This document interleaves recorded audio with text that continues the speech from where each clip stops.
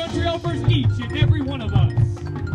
I'd like to take this opportunity to thank the Cleveland County Sheriff's Department for their support, and I'd also like to thank each and every one of you for being here tonight. So without further delay, I present to you music by Joliet Jake and Elwood Blues, the Blues Brothers!